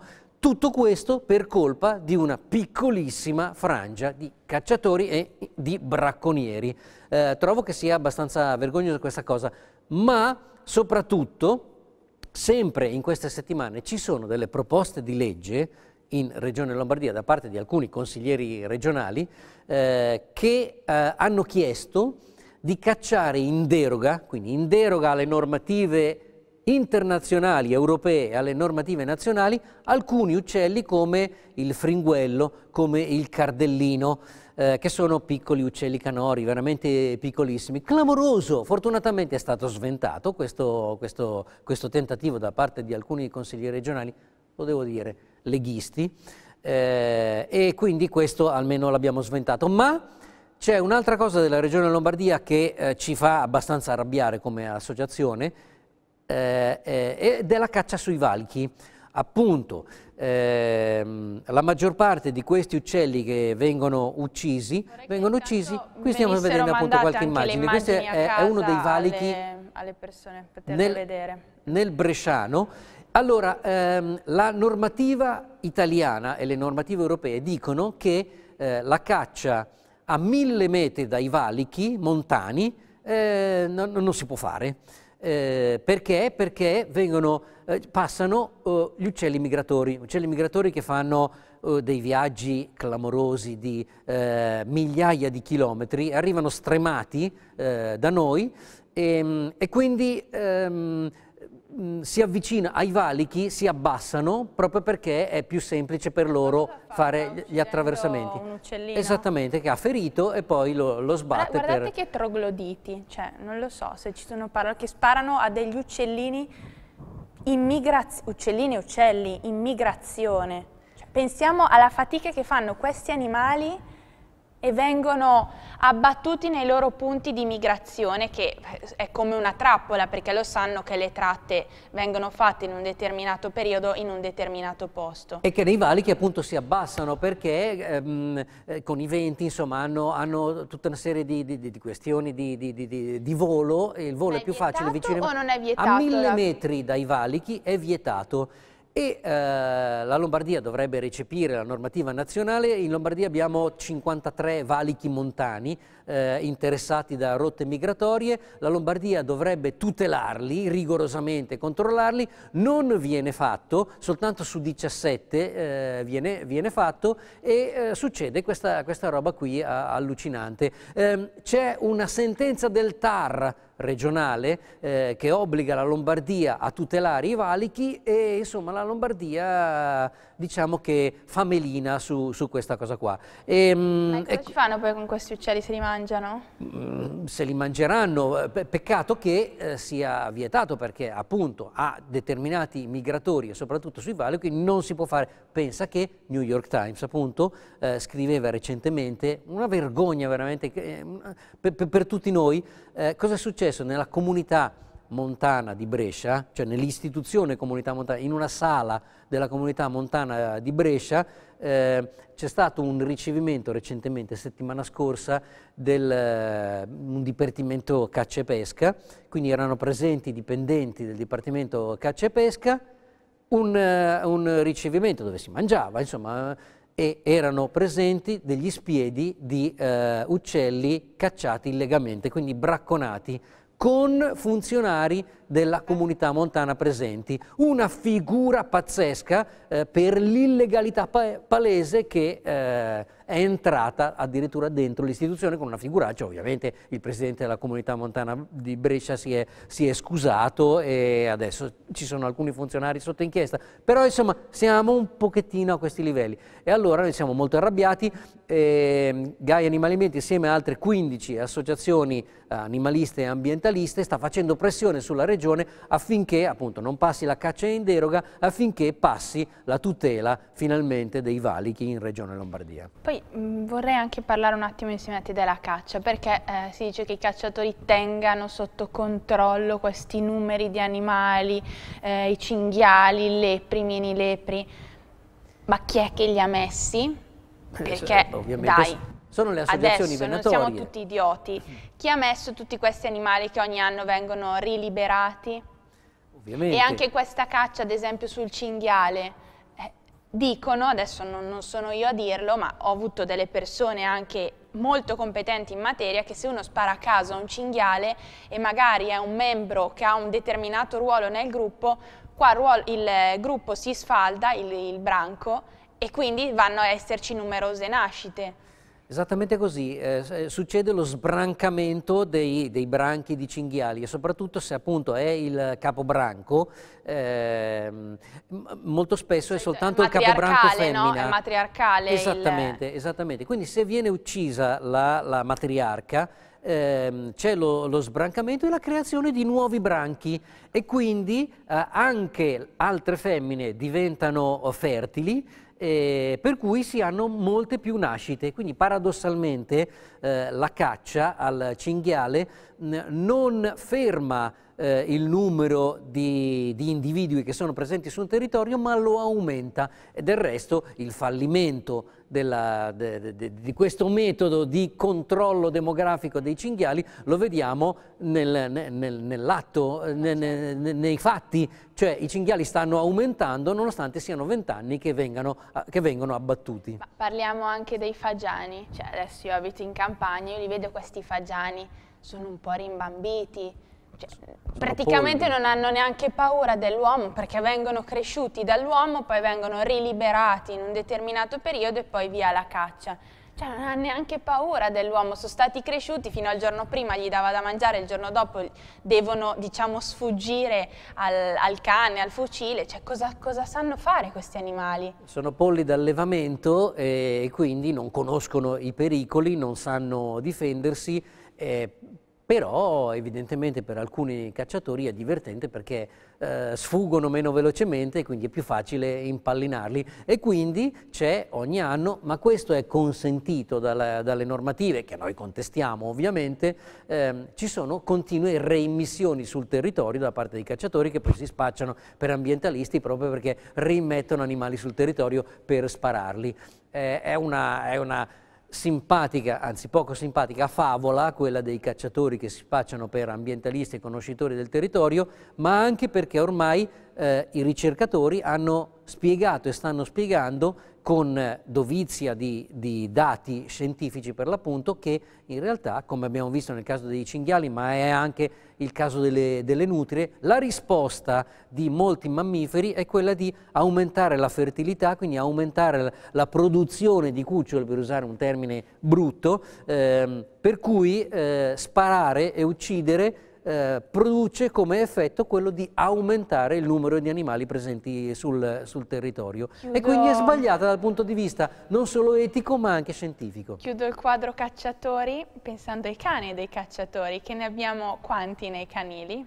Beh guarda io eh, sono... Che che gravano, se dobbiamo metterla sotto questo aspetto. Cioè, a me dispiace ovviamente per il cane, però questi animali gravano sulle tasche degli altri cittadini, cani palesemente di cacciatori. Io eh, ho adottato proprio recentemente un, un, un cane da caccia eh, che anche quello arrivava dal sud, dalla, dalla Calabria, eh, nel nostro rifugio, piangeva disperatamente di notte, ululava, quindi alla fine non ce l'ho fatta, lo, me la sono portata a casa, un cane da caccia traumatizzatissima, eh, perché poi molto spesso vengono tenuti anche in, in, situazioni che veramente fanno accapponare la pelle e certo eh, i cani da caccia che non dimostrano di avere delle, quelle qualità che il cacciatore vuole, molto spesso purtroppo eh, vengono abbandonati. Il cane da caccia che ho io è un cane eh, di razza, eh, che arriva da un allevamento, però ahimè eh, l'allevatore in quel caso non l'aveva microchipato e chi l'ha acquistato, quindi presumibilmente il cacciatore,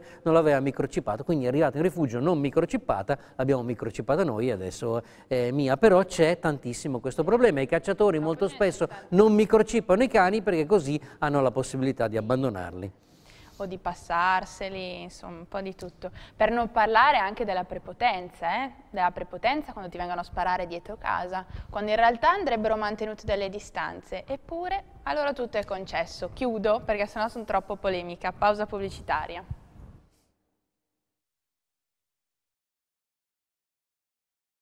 Bentornati qui con noi, ultima parte della trasmissione, come sapete siamo adesso sul palco e eh, parliamo di nuovo di toilettatura, in questo caso parliamo di un pelo lungo, quindi un pochino più complicato. Ricordo che qui con me c'è Francesca Larghi che è vicepresidente della Federazione Nazionale Toilettatori e Alessio Trovato che è consigliere regionale per la Lombardia della Federazione Nazionale Toilettatori. Allora Alessio, lei eh, non è tua no. e questo appunto ci sarà anche come esempio per far capire che magari un cane, come in questo caso mi ha raccontato, è stata una cagnolina recuperata, giusto? Sì. Eh, quindi magari non abituata ad un, ehm, come posso dire, a una cura del pelo mm, meticolosa, è stata piano piano da adulta abituata e non è sua, eppure qua abbiamo proprio la figura di un toilettatore che sa prendersi cura di un cane di un'altra persona. Quindi qua abbiamo due casi, ci spiegherà sia il privato proprietario come fare a gestirla, ma vedremo anche proprio un toilettatore con un, non con un suo cane che eh, riesce ovviamente perfettamente a gestirlo. Allora, ti lascio la parola. Qua abbiamo un pelo lungo, sì, è una maltese. lei è una maltesina, ha 5 anni, da me viene da due anni e mezzo. Eh, la, quando l'hanno recuperata era totalmente rasata, ai proprietari piace il pelo lungo e abbiamo trovato dei compromessi per poterla mantenere lunga senza fare estrema fatica, perché comunque lei eh, fa una vita attiva, nel senso loro hanno una carrozzeria per cui va anche in officina.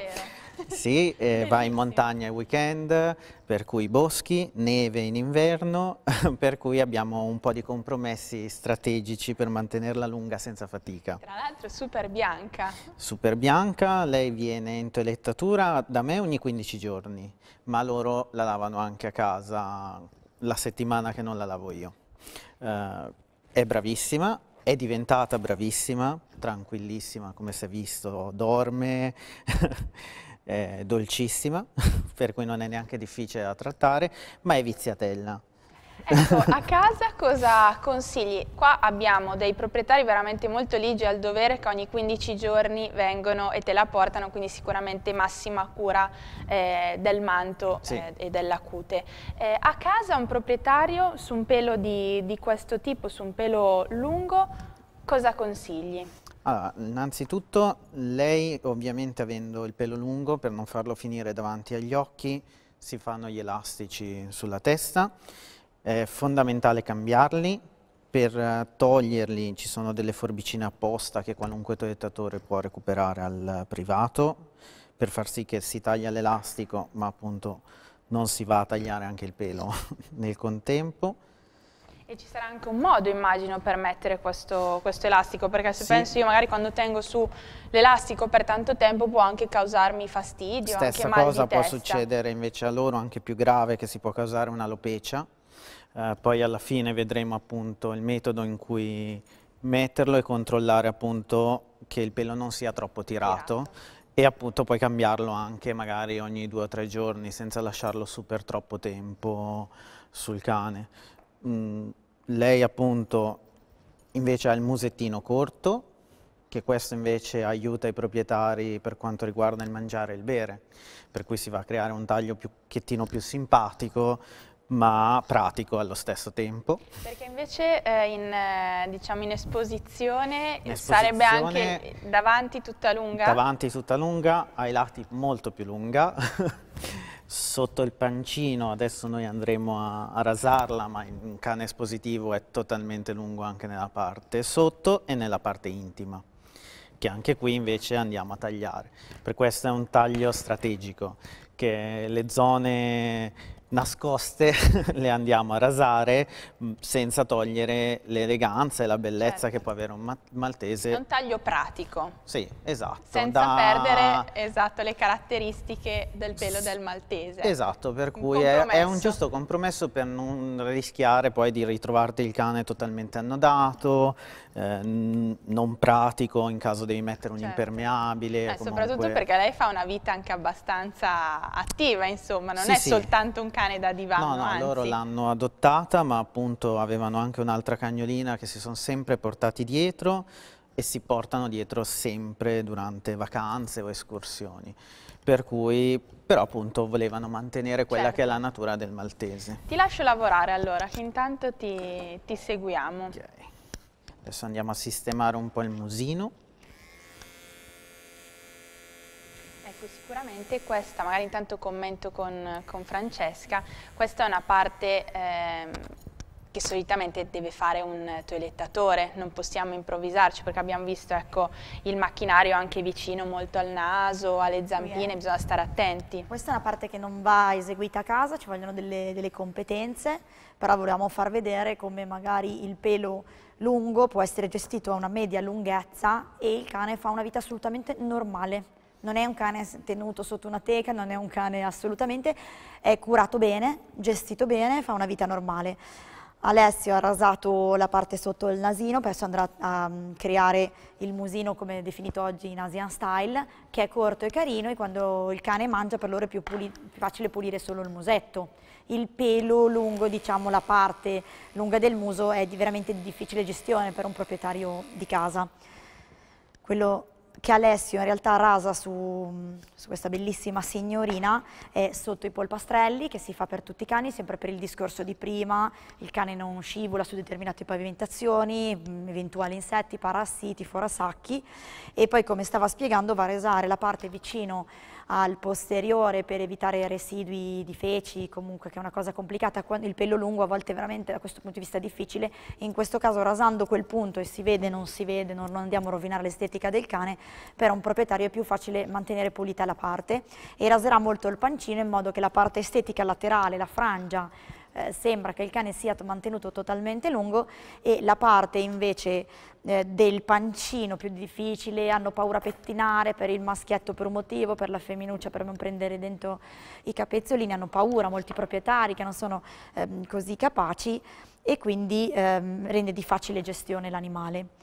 Come vedete adesso lui con la tosatrice utilizzerà una lunghezza diciamo, una ta- corta ma non eccessivamente corta sempre per non andare a irritare la cute del cane soprattutto se non è ancora abituato a una tosatura molto corta. Francesca, ogni quanto si deve portare, abbiamo sentito, si chiama questa cagnolina? Kira. Kira. Kira ogni 15 giorni viene portata dal toilettatore. Su per giù, ecco, dopo può capitare una settimana in più. Sì. E poi anche soprattutto in questo periodo di, adesso siamo in zona gialla, però in zona rossa, come noi abbiamo avuto difficoltà con, con il parrucchiere, sicuramente anche voi avrete sentito tantissimi clienti parecchio in difficoltà, soprattutto su casi di questo tipo. Ma ehm, quanto consigli, ogni quanto è giusto portare il nostro cane a toilettare? Immagino che sia anche in base un po' al manto, al In pelo. base al manto possiamo fare delle differenze tra razze intanto che Alessio lavora. per canti a, crescita continua, quindi maltese, shih tzu, altre razze, normalmente una volta al mese. Eh, se il proprietario proprio non, non, riesce a gestire minimamente per il taglio, per il bagno, eh, per verificare le orecchie, perché comunque sono cani, mm, tutti i cani che hanno le orecchie pendule hanno un rischio di, di cerume, le unghie, bravissimo. Un'altra cosa importante che deve fare il toilettatore o il veterinario è il taglio delle unghie, perché le unghie... Non improvvisiamoci no. a casa a tagliare le unghie. No, adesso Alessio eh, dopo lo farà, le unghie, soprattutto se di colore nero, noi non riusciamo a vedere dove termina la vena, perché nelle unghie c'è una vena quindi bisogna avere le competenze sia nel tagliare le unghie bianche ma eh, soprattutto le unghie nere. Nell'unghia bianca si riesce a vedere ma non è detto che la parte visiva dove io vedo il colore rosso non è detto che la vena termini esattamente in quel punto, può essere millimetricamente più in avanti, quindi vado a esagerare il taglio delle unghie e faccio male al mio cane, non è giusto. Quindi bisogna avere anche delle competenze da questo punto di vista. Um, con la molletta mi faceva morire. no, perché comunque bisogna ricordarsi anche mentre lo si lavora a casa o in toilettatura comunque dà fastidio il pelo certo. davanti agli occhi e si sentono più tranquilli avere oltre il tatto sempre anche un contatto visivo, li rende molto più tranquilli. Il laccetto ovviamente è sempre a portata, nel caso nostro, anche se l'è abituata, perché la è sicurezza una c'è. fidata, insomma. Sì, lei starebbe sul tavolo guarderebbe ore senza alcun tipo di problema, ma comunque la, certo. è sempre utile averlo. Come mantenere un pelo così bianco e candido, che immagino che sia la sfida più grande per il proprietario medio, ecco, passatemi il termine, perché insomma tra il cibo e le passeggiate e un po' tutto quello che ci circonda non è facile tenere il manto sempre super super bianco. Allora, sicuramente eh, aiutano gli shampoo, ci sono degli shampoo specifici per il manto bianco, eh, da utilizzare secondo me a seconda delle necessità. Mm, su di lei non viene mai utilizzato, né da me né a casa eh, perché appunto è un cane, è, innanzitutto è femmina ed è un vantaggio per cui non rischia di avere le chiazze gialline di, mh, mm, che possono avere i maschietti vicino alle zampe o sul pancino, ma appunto viene lavata spesso perché comunque almeno una volta a settimana anche i proprietari tendono a lavare e idratare il pelo che nel caso del pelo lungo, come si diceva prima del balsamo, è fondamentale perché aiuta a prevenire i nodi e lo rinforza perché comunque lei di base non viene quasi mai tagliata ma arriva a un certo punto in cui si sfibra per cui certo. si spezza il pelo da solo. Parassiti, qua apriamo una bella parentesi visto che siamo in, eh, in periodo. Eh, vedere un pelo del genere e pensare a pulce zecche mi viene un po' l'ansia. Sì. Come fare a tenere sotto controllo il nostro cane e come prevenire ah, anche Sicuramente nei cani a pelo lungo o medio, comunque io consiglio anche i collarini sono da escludere perché sennò tutta la parte appunto del collo, il pelo si spezza, si, si diventa scurissimo, per cui quello... Ecco, collarini che negli Stati Uniti alcune marche sono state bandite, giusto? Sì, ne parlavamo prima con uh, Francesca. Sono dal commercio una marca di collarini per reazioni allergiche eccessive. Io, a me non piacciono i collarini personalmente.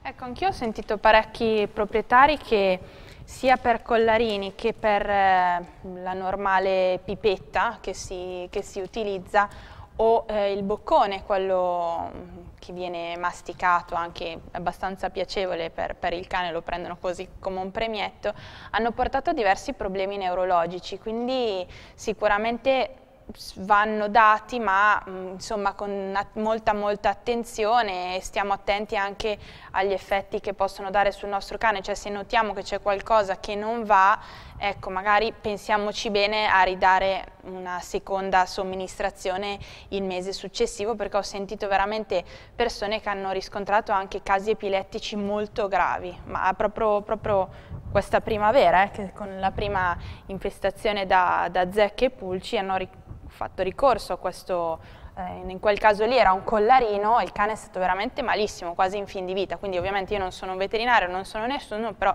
siamo qua a parlarne, io è giusto fare informazione e fare attenzione. Settimana scorsa ho avuto un cliente con un bulldog francese che finita la toilettatura ha preso i collarini antiparassitari in negozio e il giorno dopo è passato che gli aveva messo il collarino e si era riempito di macchie, bolle successivamente e continuava comunque a avere problemi, vomitava, l'ha tolto subito, è andato dal veterinario, tutte le visite del caso ed era un'intossicazione. Ecco. Sì.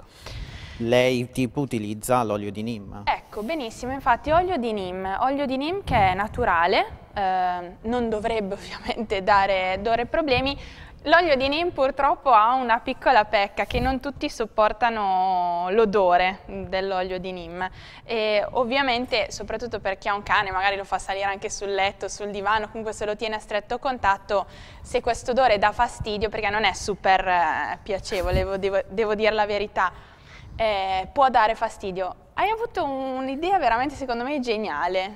Io ringrazio la mia farmacista che ovviamente, il mio farmacista è un allevatore tra l'altro di cani, quindi è una persona molto esperta, faccio, non, ordino da loro l'olio di Neem, quindi naturale, mi preparano eh, aggiungendo degli oli essenziali con delle profumazioni che io gradisco, che non coprono al 100% ma alleviano molto il cattivo odore del, dell'olio Neem, che a me personalmente non piace ma lo ritengo molto utile e quindi mi faccio fare questi preparati. Spendo anche molto meno di altri prodotti a base di olio di Neem già in commercio e la concentrazione di olio di lime è più è elevata, c'è una minore quantità di acqua, quindi il prodotto è molto più efficace e mi aiuta insomma, ad avere un odore gradevole sul cane. Io uso anche antiparassitari classici se vogliamo, però negli anni ho fatto una selazione molto importante nata lì proprio perché io personalmente ho avuto delle reazioni avverse a causa di un principio attivo contenuto in alcuni antiparassitari. Stiamo vedendo che sta, le ha messo un fiocchetto. Sì, ho fatto gli elastici come dicevamo Oddio, prima bellissimo. che bisogna stare molto attenti. certo. Una volta che ho fatto mh, posizioni gli elastici, innanzitutto non bisogna prendere una zona troppo ampia in un unico elastico, eh, piuttosto come fatto nel suo caso due sezioni di elastici, uno davanti e una più centrale, poi unite dal fiocchettino quando appunto si prende con un semplice pettine che può essere questo o anche quelli di plastica classici che si trovano ovunque si va all'interno del, dell'elastico stesso e si danno dei piccoli colpetti verso l'alto. Per ammorbidire. Per ammorbidire e far sì che siamo sicuri che nessuna parte all'interno del, dell'elastico tiri troppo, perché appunto se no si rischia che poi si creano all'interno zone di lopecia, per cui no, è dolore comunque per il cane che se no poi non si abitua e appena finisci prova a toglierseli. Ecco, su un maltese o comunque su un cane a pelo così lungo, anche eh, in costante crescita, come avete definito voi, se ho capito bene, quando iniziare a mettere i primi elastici? Ah, io ai clienti che magari acquistano maltesi appunto di tre mesi, i primi, anche quando hanno pochissimo pelo, gli, gli, consiglio di iniziare a metterli subito anche non davanti agli occhi ma nelle parti mm, più vicino alle orecchie per abituare il cane alla presenza di un elastico. Perché se no subito si strusciano certo. giustamente e se già dall'inizio gli danno fastidio magari metterglielo prima di andare in passeggiata in modo che comunque il cane poi è distratto durante la passeggiata e man mano non si rende più conto di avere in testa l'elastichino. Certo o le mollettine, poi ci sono tantissimi sfizi che si possono mettere, si può giocare con vari fiocchettini, la proprietaria gli piacciono, più sono eccessivi meglio è, infatti oggi è iper eccessivo ma lei lo sa portare con eleganza sempre. Assolutamente sì. Allora siamo quasi alla fine, dobbiamo aggiungere qualcosa, Francia abbiamo dimenticato... La pulizia degli occhiati. La pulizia degli occhi, bravissima. Tanto bravissima. che Alessio termina il musetto. Intanto ci raggiunge anche Edgar con calma, eh? tranquillo, piano piano, che, che, noi siamo qua e ti Come aspettiamo. noi ci laviamo la faccia al mattino, spesso i cagnolini hanno delle leggere secrezioni all'angolo degli occhietti. Ovviamente nei cani di colore bianco la cosa può essere più evidente, ma in realtà hanno tutti i cani. Quindi quello che posso consigliare è di utilizzare dei prodotti specifici, eh, mai il cotone, sempre per i residui di cui parlavo prima che posso affliare, quindi garzastelire piuttosto che anche un una, un asciugamano in microfibra morbido e andare a pulire giornalmente, una procedura che porta via 30-40 secondi e andiamo a pulire eh, gli occhietti. Se non avete dei prodotti specifici, non avete fatto in tempo a comprarli, qualsiasi motivazione, ad esempio io sui miei utilizzo la camomilla. Preparo una camomilla concentrata, naturale, la conservo in frigorifero perché non va utilizzata calda ovviamente e la utilizzo e la camomilla ha un forte potere sbiancante, quindi sui cani bianchi quando mi chiedono ma che cosa funziona, la camomilla non ingiallisce come molti credono ma in realtà va a sbiancare la lacrimazione. È anche molto utile, mi dicevano, in casi anche di un, mm, come posso dire, quando hanno qualche fastidio all'occhio, le nisce, esatto. È lenitiva, è una cosa aiuta. naturale, io tendenzialmente se posso utilizzare prodotti naturali preferisco. Allora, siamo proprio alla fine. Io, cogliendo l'occasione di vedere anche Kira qua, guardate com'è bella con quel suo fiocchettino in testa, è meravigliosa, però anche un cane di questo tipo che sembra veramente una bambolina è un cane che fa una vita bellissima, nel senso che i suoi proprietari le danno anche la possibilità di sporcarsi, di fare il cane, di girare, camminare, perché purtroppo la maggior parte di questi cani, soprattutto quando sono così piccoli, vengono tenuti proprio come oggetti, come bambolotti. E ricordiamoci che sono cani, che amano anche loro ogni tanto sporcarsi, rotolarsi, so che sicuramente una rotolata poi devo dire che sono anche abbastanza schizzinosi, eh, quando sì, hanno il pelo così. Schizzinosa. non vanno magari proprio a, a, rotolarsi nel fango. Però se anche dovesse capitare, permettiamoglielo. Gioca e quando ovviamente negli anni siamo diventati amici con i proprietari e se viene a casa mia io ho cani di taglia medio-grande, giocano in giardino e lei in mezzo che ha un piacere poi ripeto, un bagnetto e tutto passa. Benissimo, senso, complimenti a, ai proprietari di Kira perché davvero è tenuta molto molto bene ma allo stesso tempo le permettono di fare la sua vita e di divertirsi. Edgar, eh, prima di lasciarci, ricordiamo il 5 per 1000 da devolvere alla vostra associazione. Ma 5 per 1000 è un'iniziativa bellissima, indubbiamente, perché eh, permette alle associazioni, non solo a Gaia Animali Ambiente, di avere un piccolo budget quasi sicuro tutti gli anni. Cioè siamo in periodo di... Eh, eh, dichiarazione dei, dei, redditi che è sempre un momento insomma, un po' eh, sanguinolento per tutti noi, però insomma, è giusto pagare le tasse. E c'è la possibilità di, di eh, devolvere il 5 per 1000 eh, a un'associazione che, che si sceglie.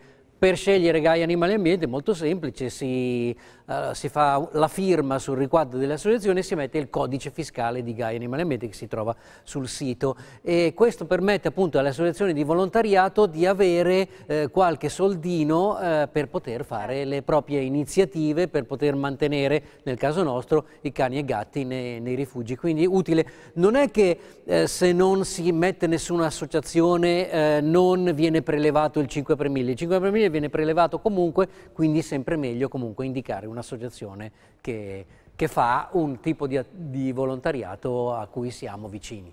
Benissimo, ricordiamo Franci in conclusione il 5 maggio, importantissimo alle ore 21, ovviamente è un, è un evento dedicato ai toilettatori, giusto? Però se ci fosse qualche tele, eh, toilettatore all'ascolto, ricordiamo che il 5 maggio alle ore 21 eh, l'onorevole Sara Moretto sì Ecco, ci sarà proprio una diretta dove discuterà questa proposta di legge per far riconoscere la categoria dei toilettatori, che è importantissimo per dare un'identità a questa categoria e soprattutto una preparazione. Eh, già la Federazione Nazionale Toilettatori fa tantissimi corsi per, per, preparare ovviamente i futuri toilettatori perché come abbiamo capito in questa trasmissione è importantissimo non improvvisarsi perché ricordiamoci che quando diamo il nostro animale in mano a un toilettatore ovviamente non è soltanto un momento relegato al bagnetto, a, a, tornare fuori pulito e profumato, è un momento per il nostro cane che può essere anche stressante, però se in mani corrette, ovviamente innanzitutto il pelo ne risentirà perché verrà trattato nel modo corretto, si eviteranno danni che possono essere permanenti per la cute e il pelo del nostro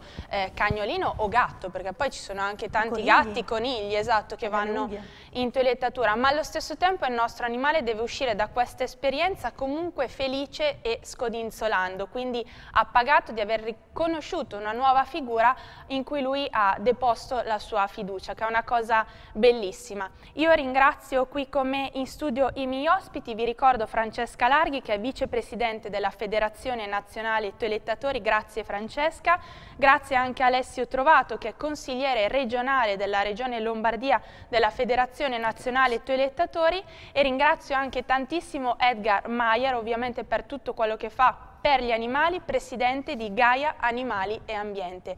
Grazie anche a voi, i nostri cari telespettatori che ci seguono sempre e noi ci vediamo la prossima settimana. Arrivederci e buon proseguimento.